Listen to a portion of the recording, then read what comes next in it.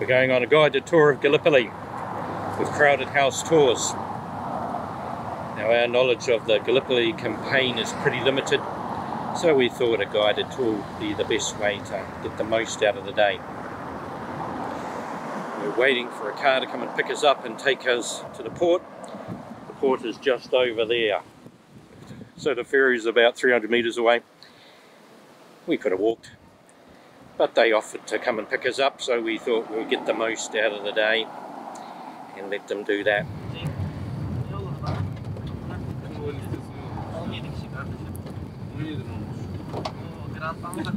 I recorded the whole trip. We recorded the whole trip. That's it. Bye bye. End of the tour. I take you back to the hotel now.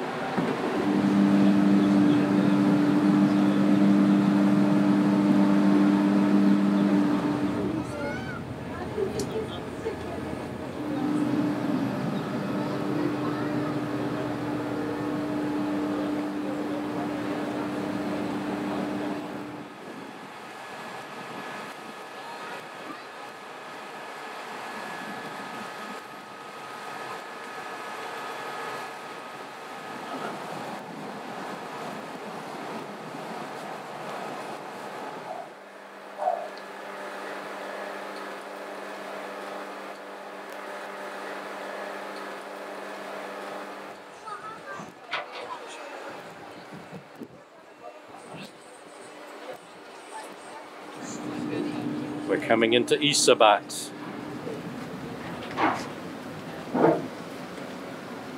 Welcome.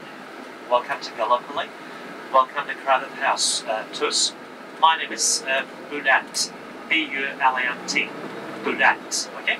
So this afternoon, uh, I will take you all around Anzac uh, battlefields. So tonight we're going to see Anzac Cove, the first part of the tour. And then the second part, uh, we're going to see the main Australian memorial called Lone Pine and then the trenches, the Turkish one and one, uh, still up the Turkish memorial, and finally we end up right on the top uh, for today, the place called Chunuk, uh, So Chunuk the high point, so Chunuk was the main objective like, uh, for Anzac uh, forces all through the campaign. So to 1915, the Allied forces, British, the French Anzac landed on the Gallipoli Peninsula. So the Gallipoli campaign lasted like about nine months. So after nine months, uh, the decision was uh, by the Allied forces, no points, no sense from Gallipoli, and they decided just quickly withdraw like, uh, from the Gallipoli Peninsula. Gallipoli was part of the First World War from 19 14 till The First World War uh, between the two parts of countries, Germany and the British, the German sides, Germany, Austria-Hungarian Empire, later on uh, Bulgarians and plus Ottoman, the Ottoman Empire. On the other the British sites, the British Empire, Russia and France. The First World War had broken 1914, but at the beginning of the First World War, Ottoman, they were still neutral. Still, they didn't decide which sides to be, on the British side or on the German side. Just before the First World War, like a couple of months before, Ottoman, the Ottoman Empire, they decided order the two battleships to the British to build up uh, for that. for defending their countries had been paid a lot of monies. Uh, British quickly built those two battleships again for the Turks. Really, Turks looking for them. Winston Churchill. So Churchill did a big mistake uh, for the Turks.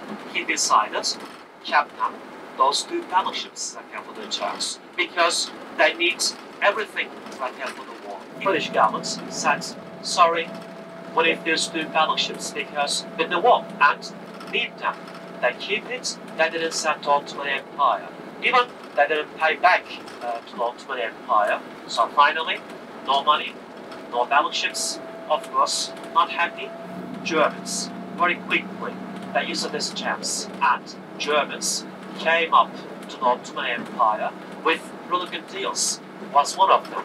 They said, here, two, three battleships here for you. If you join like an outside. So after the big, long the conversation between the Turks and the Germans, Turks, they decided join on the German side. So finally, the date was the 3rd of November 1914. Ottoman had a sign with the Germans. At then, officially, after the First World War on the German, uh, the German side. Of course, after that, they were expecting one of the big invasion, one of the big attack uh, by the Allies, by the British, by the French, by the Russians, you know. But the question mark for the Turks, whereabouts it's going to be. A few places they were expecting. It's one of them, Gallipoli, or just be passed at the back, the channel, uh, the water called Dardanelles. But Turks back then called for Gallipoli or for Dardanelles like this last castle, the last stand before to get to Istanbul. Okay? So the Turks, if they lost Istanbul, means they lost the whole country. Now, that Turks, when they joined on the German side officially, like around November, and after that, quickly, they started to prepare all like the defense system on the Gallipoli Peninsula to get ready uh, for this attack. They put more fresh troops on the Gallipoli Peninsula. They put more guns, repair all like the old Turkish defense all around the Gallipoli Peninsula. And Russians ask for help to the Allies, and then Winston Churchill came up with his first plan to Gallipoli. His plan was first send all the British and the French battleships, the navy, the fleets, whereabouts, top of the idea was kill the Turkish defense. If they succeed, much easier, whereabouts, to all the way up to Istanbul, to capture it. If they capture Istanbul, Turks out of the war, sail up the Black Sea, and finally handle the Russians. So I was gonna say, the idea was the purpose action for Gallipoli campaign, opening the supply line top to up to Russia. The high points now you're looking to the Chunuk uh, Chunuk Bair. So Chunuk Bair, the objective uh, for Anzac forces all through the campaign. So today we end up right up the top. So when we get to the top, you're going to see like why such an important place to look for Anzac uh, battlefields. Okay. See one of the Turkish islands. It's over there, Turkish island. Uh, Imros, Gökçeada, Gökçeada or Imros. Imros, back then, the British general, Sir Ian Hamilton, the commander of the Allied forces, most of the time he's based was there during the campaign at Turkish island, Imros. It's about 11 miles like from here. 15 miles like from here, Lemnos.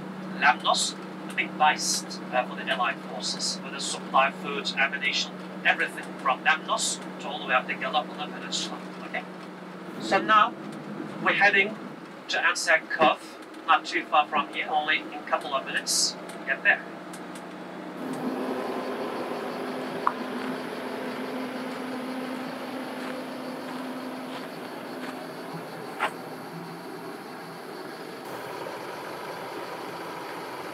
But Anzac the 1950, not like this, much wider. It's about 10 or 15 meters wide, but today not much. Uh, the reason they built the roads, the but today, after this storm, 1950 much wider, see all the supplies all over the beach. Exactly is the pier right down there. So this one right up the top.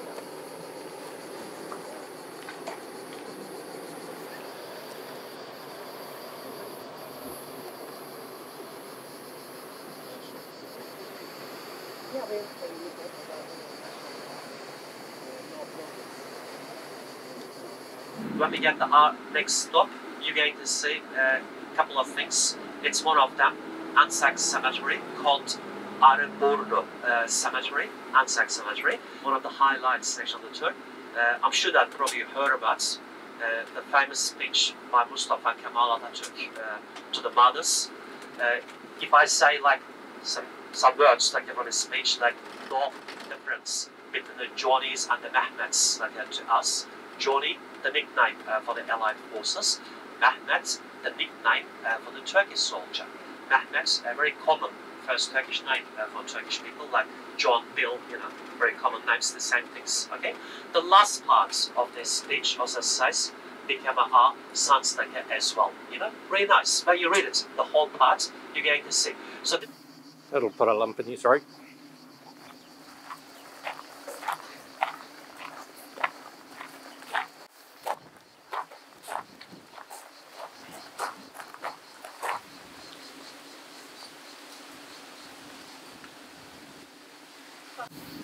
Now. The place called Ari Burnu or Ari Burnu uh, Cemetery, Anzac Cemetery, or just reverse if you remember, Anzac Cove, just around the corner.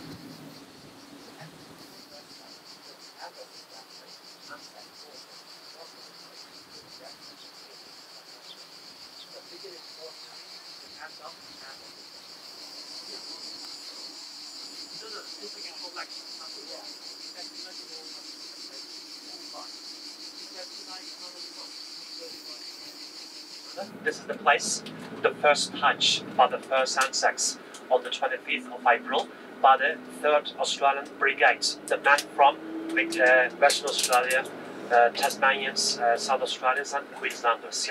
So we call for them covering forces. So they, were the first ones they came ashore, and then like around six o'clock in the morning, second Australian Brigade also they landed on the Gallipoli.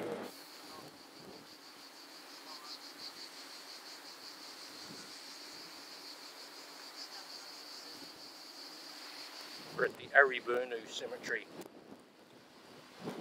full of Anzac graves. Beautifully maintained.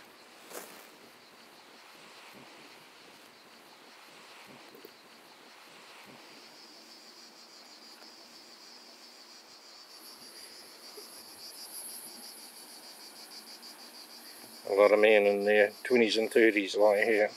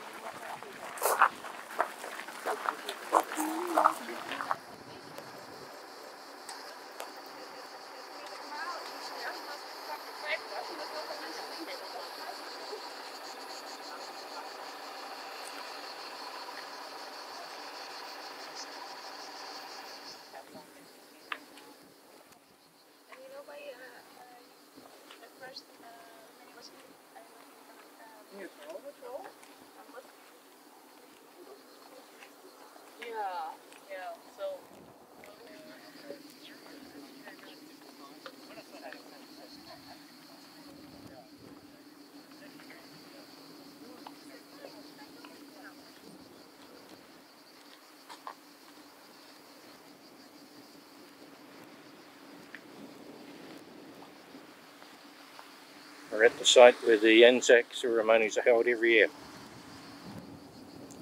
The 25th of April.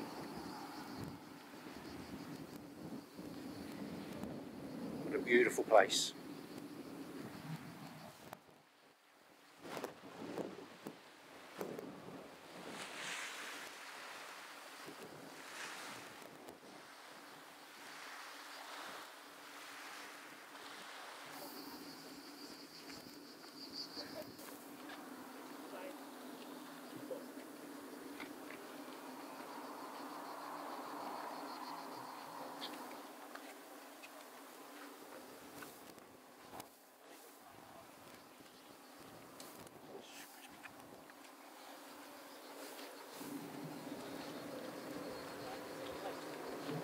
time. Uh, during Gallipoli, Anzac, uh, the counter-attack to the Turkish position at one place, and after the counter-attack, between the two lines, like in the no man's land, all dead bodies, wounded officer and the soldier. One of the ANZAC officer that the wounded yelling from the Norman steps like help me, help me, but you can't help. If he moved from your position to help him, easily get shot. So quickly jump over this position to the Norman steps with his white flag, lift him, took him from the Norman steps, whereabouts to exact position. He left there, quickly came back his own position, and then started again with the shooting, firing, like into each other. So we call for this one respect uh, to the Turkish soldier, respect to the Mehmet uh, statue. The story was a little bit unknown, but nice story. We said all the time, you know. And also no fighting around this place. Uh, most of the time during the Gallipoli, uh, Turks were controlling this place. The Turks get lots of based like around here because long time it's about half a kilometer right up there. Now we're going to a big Turkish base, like Turkish supply, Turkish reinforcements, Turkish commanding, all set up all around this place.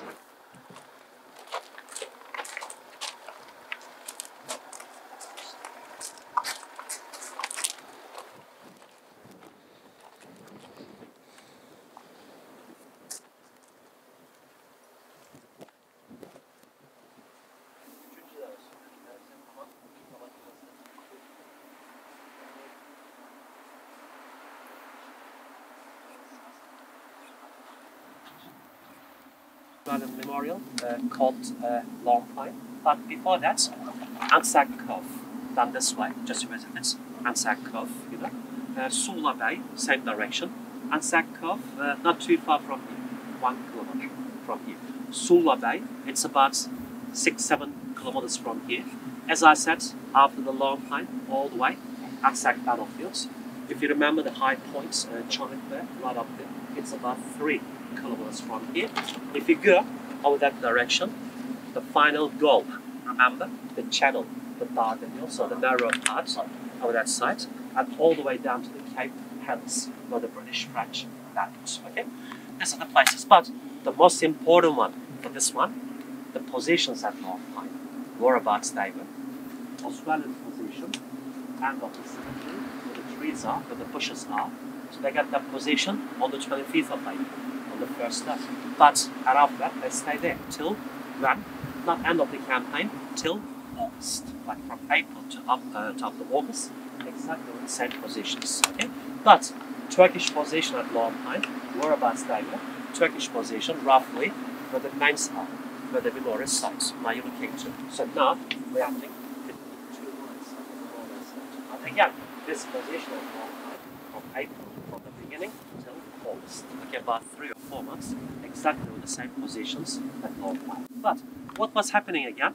Remember, after the landings till August, all the fierce fighting, the bloodiest fighting for Gallipoli, for the places, you know, at Ansaklo, right down at the bottom. But the problem was the Allied forces not achieved any high grounds or objectives, stalemate, deadlock for Gallipoli, and then the British generals uh, quickly organized like, a new plan for Gallipoli, last big plan uh, for Gallipoli, 6th of August, uh, 20,000 fresh British troops landed at Suvla Bay for breakfast stalemate. The plan was British, when they landed at Suvla Bay, on the same time, Anzac forces, like Suvla, Anzac, all together on the 6th of August. When they landed all together, big wave, they charged from everywhere between Anzac and Suvla to the Turkish positions to capture it for breakfast stalemate. If they succeed, easily capture the high points. If they capture the Chonet if they succeed, as you know, what was happening uh, after that, you know, that was a plan. But what happened actually here during the August offensive, uh, the Battle of Lone Pine, or they called uh, for this one, big diversionary attack at Lone Pine. But why diversionary attack at Lone Pine uh, by the Australians? One of the reasons supporting the British landings that had the Suvla Bay, the reason, the main reason, there was a big Turkish base right down there, like kind of Turkish Anzac Cove, Turkish like a North Edge, means big base like for the Turks right down there. For this one, for Anzac battlefield, Turkish supply, Turkish uh, commanding, Turkish reserve, Turkish reinforcement, most of the time, right down there, that base us. If there's something happened up here or even right at the bottom, if they need help, support, reinforcement, quickly called Antan, the Turkish reserve very quickly moved like into the places, you know. So Australians, of course, they knew about big Turkish base like right down there, knew about the Lone Pine position, you know. The idea was at Lone Pine uh, for the Australians, charge at Lone Pine, big charge, you know, kept them all like the Turkish base busy, like engaged on the same position, stop them to move to reinforcement, other positions, but especially whereabouts right at the top of the high points, Chunuk Bair. Why? This is the diversionary, but the real attack at Anzac uh, by the uh, by the New Zealanders all happening right at the top of the Chunuk Bair. So helping them open the way like that for them, you know. So when they kept them all busy, the big punch at Anzac on the same time all happening right at the top, uh, Chunuk uh, by the uh, by the New Zealanders again. So helping them open the way like that for them, you know. That was the plan. But what happened? Very quickly the beginning of the Battle of Lone Pine, 6th of August, like around 5.30 like p.m., the 1st Australian Brigades, the men from uh, New South Wales, like the 1st, 2nd battalions, they were the first ones. How many of them? Like about over 2,000 of them. They were on the position, so they ordered them to fix bayonets, ammunition off, and then they charged, like a bayonet charge from their position to the Turkish position over there. They did quickly, all Australians exactly were top of the Turkish position at Lone Pine. And then what was happening after that? Quickly they jump into the Turkish position or into the Turkish trenches. The first touch with the Turks, and after that, the bloodiest fighting action for Gallipoli. Why? After that, over there, the fighting at Lone Pine like this. Hand to hand fighting like in the trenches, you know. We called the bayonet like fighting. Most of the time they used to look at the bayonets, rifle, pistol, hand grenades, rocks, whatever, what they found. Not on the 6th of August, uh, this battle here, 7th of August, 8th of August, and finally was over when 9th of August, like after three days. But what was happening again between 6th and 9th of August during the Battle of Lone Just imagine like this all happening. 6th of August again, Australians when they charge, like next couple of days, Australians had a great succeeds. I mean, they move, they captured most of the Turkish position over there, they move a bit down further, you know, and then, end of the day, they were controlling most of the Turkish position down there. But what was happening? The next morning, 7th of August, early in the morning, Turks, they organized, remember, reinforcement at the back, and then after reinforcement, the big counter-attack down there, top here again, and then in couple of days, again, Turks, they recaptured like, their positions and got pushed back almost again, same position roughly, and then during the same day, 7th of August, Australians they organize again, the big counter-attack, you know, and then they were captured again, pushed down below like Turks right down there. Turks organize the big counter-attack like this, what he called till 9th of August. The fighting over there like this. Tennis match, like back and forth, back and forth, you know, like this. But finally, 9th of August, uh, what was happening early in the morning, Australians again, they end up just behind the tree over there. So after two days, they end up right up there. So three days, from there to over there. But the points, not this one. They succeed, they move a little bit down further, you know. But the points, remember, was big diversionary. But after three days, end up the big, the great succeeds, great victory, like for the Australians. When they were fighting here, there, not heavily defended by the Turks. All Turkish reinforcements stuck right down here.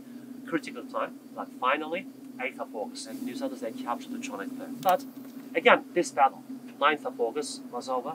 So after three days, big like a victory like for them, you know, succeed. Even Australians got seven Victoria Crosses like for like an action at Lone Pine. But the cost, it's about 4,000 Turks, it's about 2,300 Australians all total together, more than 6,000 of them killed, wounded, injured, like during the Battle of Lone Pine, like in three. But the size of the Battle of Lone Pine again, not to the area, exactly you're looking to the open area, or maybe the same size, but on the left or right hand side, like kind of, we said all the time, like maybe one or two, like a football, like a field, like the size, you know, to place like at the Battle of Lone Pine. So the reason today why the main Australian memorial brought up here, not down Anzac or other places, because most Australian casualties from the Gallipoli now we are standing up here at Lone Pine. Even nine months they charge from every every position, but only one place. And a great success again in this place, know, at Lone Pine. Also the Turks they called uh, for this place not Lone Pine. We called like this. Kanlı Sırt or blood rich or blood rich. What you call blood rich? Remember, more than 6,000 of them killed, wounded, injured, and the battle of long time against us. Left hand side is more coming up. Anzac trenches. As you can see, all the remains of the trenches, all Anzac, still there. 107 years, all original, all from 1915. But 1915, much deeper, much deeper. It's about two, two and a half meters like a deep. See like an Anzac uh, tunnel as well, uh, the communication uh, tunnel, but today Captain just collapsed. Okay, all original uh, Anzac trenches now you're looking to, but not the front line trench, second line. We call call the second line to each other, throwing tins of foods like chocolate, biscuits, cigarettes, or tobacco, paper. Some part they're, they're playing the games again to each other all through the positions like Anzacs, for example, from their position shoving the targets like into the Turkish position, the Turks that they try to shoot, you know, or Turks that were doing the same things. Especially one of the Australian officer, Colonel Johnston, you know, he was defending like this position. So Colonel Johnston and his troops making the jobs all the time to the Turkish position means making happy, you know, during the quiet time, spending a good time. They were enjoying teasing the Turks, and the reason called named after him, Johnston's uh, Jolly. You know, Jolly means uh, Okay, what they call Johnston's Jolly. Whereabouts? Not this one. Can you see with the white information panel under the tree? Or the first, the broad uh, sign, Turkish line. Are you looking into over there? Turkish line. If you follow me again, please.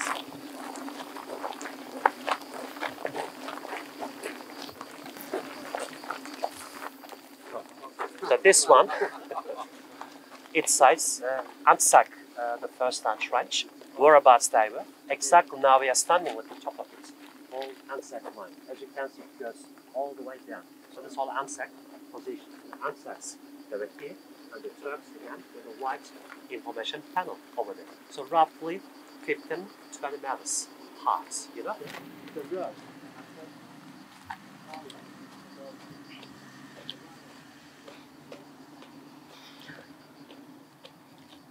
I'm out of no man's land, heading towards the Turkish trenches.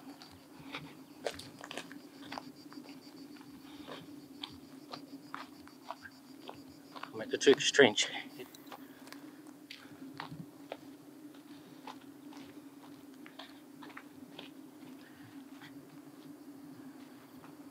I'm in the Turkish trench.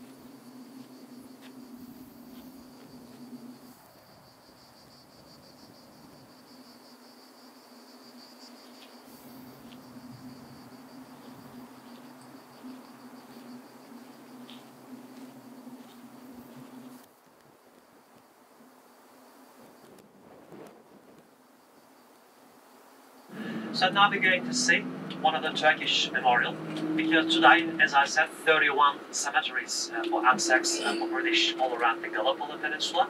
The Turks got more than 60 of them all around the Gallipoli Peninsula are main memorial where the names are for missing ones right down to the bottom, right down to the Cape Helles. Okay, this one uh, called 57th Regiment's Memorial. 57th Regiment uh, during the Gallipoli campaign, they're part of 19th Division. So they're part of Mustafa Kemal Atatürk's regiments. But almost half from this regiment all wiped out during the Gallipoli campaign. Almost half. Uh, the reason fighting for their homeland, uh, for their country. and the reason Mustafa Kemal Atatürk, his regiment, is one of the famous order to them on the first day, like this I don't order you to attack, I order you to die. When we die, other troops and commanders can come and take our place. Means just go and die uh, for the country, you know, the reason.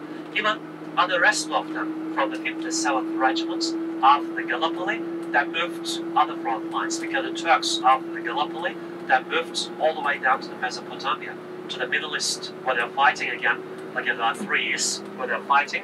But end of the First World War, you know, 1918, uh, this regiment nearly wiped out. Only a few of them survived. Like about 98% of them during the First World War, all gone. You know. So today, Turkish army still big. We got 56, 58th, but not 57th uh, regiments like in the Turkish army for respect okay, to them. Okay. Uh, today in Turkey, like if you ask any Turkish people all about like this regiment, all about the 57th regiment, uh, I'm sure that you talk something all about this regiment, like a legend uh, for Turkish history. Okay, this one it was built in 1993, 1993, but we called uh, for this one memorial sites, not actual uh, the body is buried. The memorial site actually uh, the body is buried right down the gully, right down the big mass grave like here for them. So if you're going to see the memorial sites. Okay, when you get to the Turkish memorial, is the fight after the entrance on the left hand side, going to see the statue of the old man with little girl. The old man died like about nearly 28 years ago, uh, 1994, when he was 110 years old. Not the last man, he was one of the oldest, like at the war, survivor, like from the Turkish side. We got two more places for today. It's one of them now we're going to the place called the neck or the neck cemetery and we are standing. The place called the neck or the neck cemetery again Anzac cemetery but 1915 positions at the neck from the beginning till end of the campaign like about nine months again uh, Australian position just behind the bushes just there. Turkish position roughly where the trees are just there. So this is the place called the neck down there. Drops down and drops down as well, like from here. So the size of the neck, uh, today like two or three tennis courts, like a size, you know, not too big area. What happened actually here? The Battle of the Neck was part of August Offensive. Now you're looking to Suvla Bay, the Salt Lake, the first one. The next one over there, the Suvla Bay, Salt Lake and Suvla Bay. But this one, the charge at the neck, not 6th of August. 6th of August, if you remember, Battle of Lone Pine, Battle of Chunuk Bair, the landings the British Suvla Bay 6th of August, but this one 7th of August by the 3rd Light Horse uh, Brigade, the men from Victoria and Western Australia. So the plan actually here, before they go, before they charge uh, at the neck, 7th of August, uh, 4 o'clock in the morning, the first Anzac, uh, the artillery, bombing, shelling uh, to the Turkish position at the neck for helping them, for open the way, like for this charge, till 4.30, like half an hour artillery barrage uh, at the neck. So 4.30, they stop the fire and then light horse regiments, the 8th and 10th light horse, charge from their position to the Turkish position over there. But not all together, four waves. Each one's like 150 of them at once. The first two by the 8th light horse, last two by the 10th light horse. But the first big mistake, Anzac artillery, that stopped 4.23. About 10 minutes, too much time actually for the Turks over there to organize to turn back like, to their position. The commander of the 8th Light Horse Regiment, Lieutenant Colonel uh, Alexander White, ordered, don't move, don't charge from their position. Just wait like, until 4.30. So 4.30, the first wave, 8th Light Horse, 150 men, fixed bayonets, ammunition off, they charge, but the discharge was over only like 5-10 seconds. Just imagine, from Turkish position, machine guns or rifle fire, like Mexico, like all white oh. jet, most of them, you know. About five minutes later, the order to try again the second wave. So again, 150 men, 8 light horse, really in the position, fixed bayonet, they charge, but same things happened. About 10 minutes later, after the second wave, the third wave, tank light horse, same number, they really fixed bayonet, charge from their position, they try again, but didn't succeed as well, you know. Most about 20 minutes later, last man, really in the position, their position, fixed bayonet, they charge, but same things happened. And then the battle of the neck was over. Only 40 minutes. 4, 4.30, the beginning in the morning, 10 past 5, like in the morning was over. 40 minutes. How many of them? 600, uh, 600 men were charged, but how many of them? 372 men were killed, and the rest of them all injured or wounded. In Chunuk Bair, not heavily defended by the Turks, critical time, 8th of August, early in the morning, the Wellington Infantry Battalion, Lieutenant Colonel uh, William Malone, the commanding them. So William Malone, finally, was exactly right up the top of the Chunuk Bair. So finally, again, the they were right up the top of the high points and captured.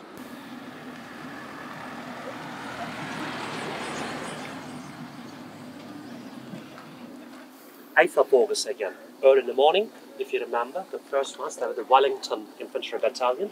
They came up on this way and they end up right up here. And that they're controlling here for two days, two nights. And Turks, they move back where all the buses are. So two days, two nights, the positions at long time like this, because from the both sides uh, behind them, not enough uh, support, reinforcement to charge again, to move again, you know. So two days, two nights like this, but Turks more quicker. Turks, like in a couple of days, they get all total together like five regiments, like about around 20,000 of them. They arrived from Suvla, from Helles, or from other places, you know. So Turks very quickly organized again. Mustafa Kemal Atatürk, he organized everything, the big counter-attack. But not only one point. Now you're looking to whereabouts they charge like this. Just imagine. From left-hand side, from middle, from at the back, or from the top, like a big wave, big bayonet charge all of them on the same time in the action. All of them, more than 20,000 of them, they charge from their positions up here. No chance. Only a couple of thousands of them up here. So no chance, like a couple of thousand again, can push them back right down to the line and then by the Turkish hands. So this is the place. If I get on my tour uh, from Australia, all the time they ask, keep asking me, like, now we're going on the tour. Uh, and cycle long time in the places, but if I get the people from New Zealand all the time, they keep asking, are we going to see Chunuk Bair on the tour? Because this is the place, you know, for them, where they're controlling like for two days, two nights. Even in nine months, 2,700 not much done this campaign, but how many of them just for this place? The beginning 6th of August till 10th of August, 1,300 not like almost half that lost their man uh, in this battle. You know, so the reason such an important place, and we're going to see in a couple of seconds. You know, the main memorial uh, for the new civilization right off the top. Okay.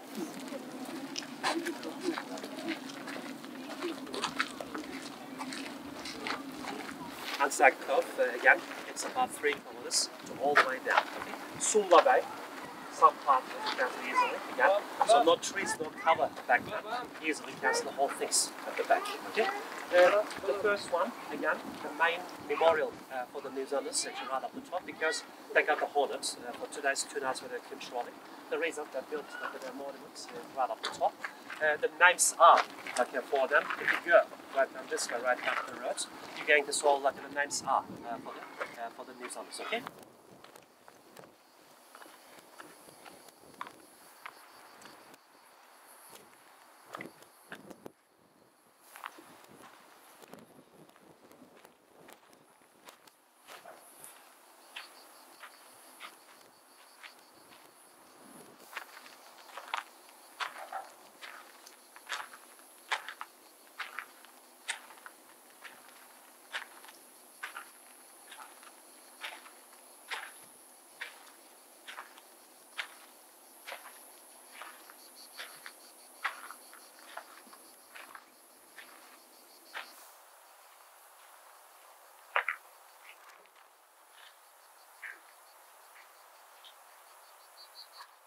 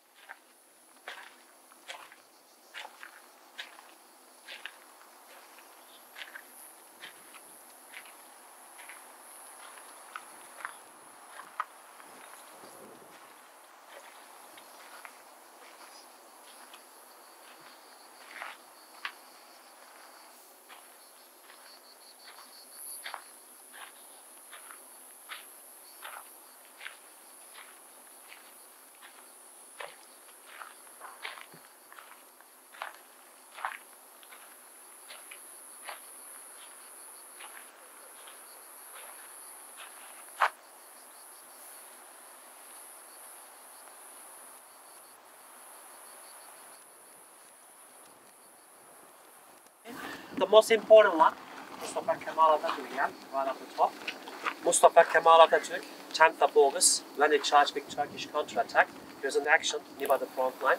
where he was fighting here, one of the amazing stories from our side, uh, piece of shrapnel hit his heart, but saved his pocket watch. So pocket watch saved his life. So pocket watch, this is all the time, changed the history. If without on the 10th of August, you know, heroes like today called Turkey or country at the top, one of the body with black times, type of bodies, okay?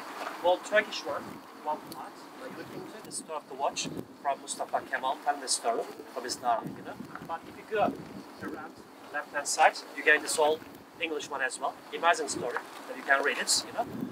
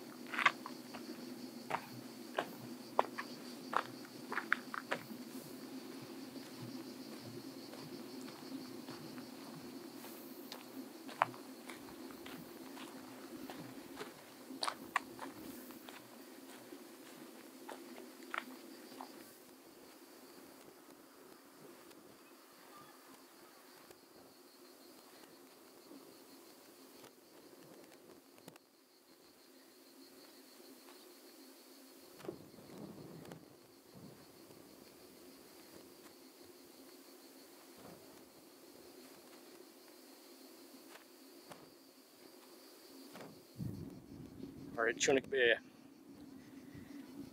A lot of New Zealanders lost their lives here.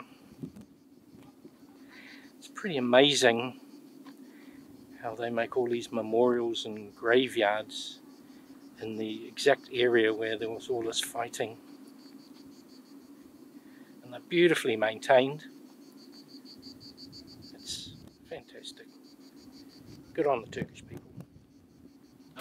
that, the decision was just quickly withdraw okay, from the Gallipoli Peninsula. They were expecting half casualties, means big number, like for last parts, you know, of the evacuation, like 120 means more than 60,000 of them, you know, expecting the casualties. But how many of them they were?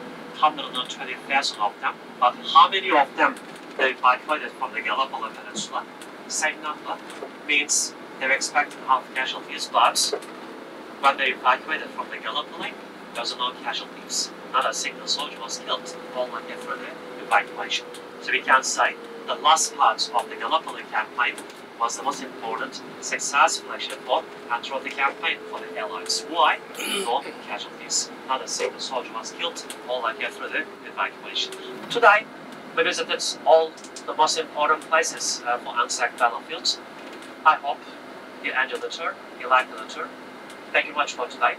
Uh, thank you. Thank you. Uh, roughly, we got 10 minutes to back to our office. You off to Istanbul or the ferry uh, to Çanakkale or other places. Alright, thank you.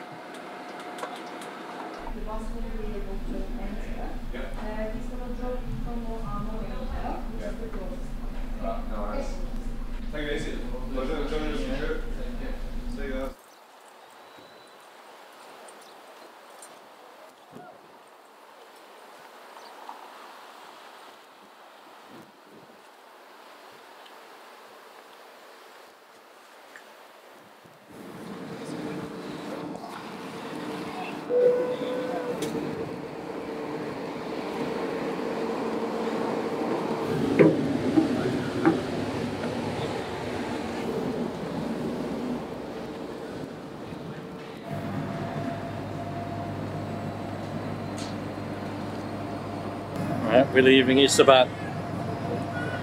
We had a really nice day with Crowded House Tours. We paid 500 lira each. And we got picked up from the hotel. We had a ferry ride from Çanakkale to Eceabat. Had a nice lunch. Had a bus tour around most of the prominent Anzac sites. A really good guide. He taught us a lot of stuff about the history of the Gallipoli Peninsula and the war. And now we're getting a ferry ride home. What a bargain.